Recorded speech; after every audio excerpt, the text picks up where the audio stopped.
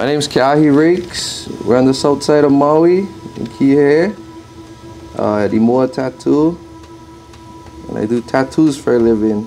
I've been tattooing for about eight years now. When I was a kid, I see my two older brothers get tattoos. I was about 12, 13 years old, and I always looked up to my older brother. So ever since then, I kind of always knew I'd wanted to get one.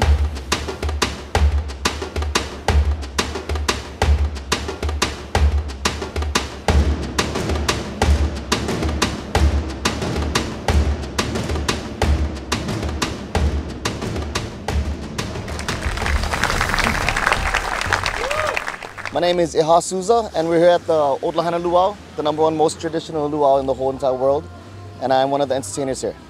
So tattoos in Hawaii and Polynesian tattoos, well, for me specifically more uh, represents more of my genealogy and more of my um, my hobbies and myself. It's just like a like a picture image of what I love to do in my life, posted on my body. So a lot of the things I have is, um, especially in Hawaii, we're very big on family. So a lot of my tattoos has to do a lot with my family. Well, this is a Polynesian style tattooing, more a contemporary Polynesian. All freehand base, the way it fits the body. This specific design is more ocean inspired because Eha over here has a love for the ocean, so definitely keeping it more ocean inspired with wave designs and specific things in the ocean. This piece here is a Tahitian piece that I got from an artist in Tahiti, from Tahiti, that incorporated the, the, the ocean, my family members, dancing, and just the protection and strength of our family culture to guide me through life. My name's Sione Fulikitonga. I'm from Lahaina, Maui. I'm an entertainer here at the old Lahaina Luau. Before I started my whole sleeve, um, we started off with the ribbon. Yeah, it's probably halfway here, right here. The reason why we put the ribbon first is um, supporting breast cancer.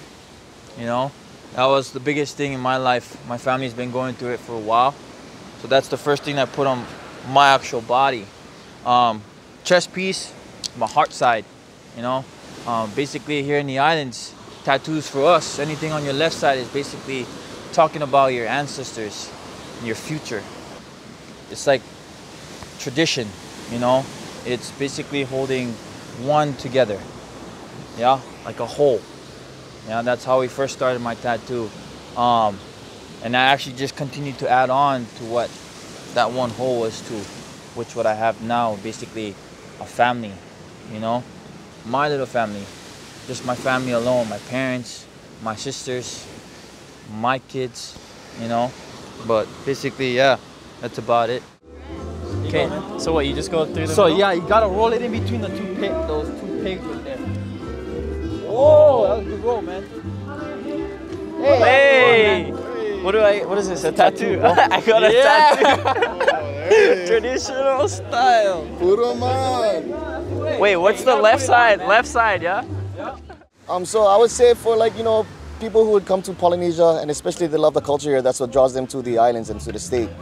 They want to get a traditional Polynesian tattoo.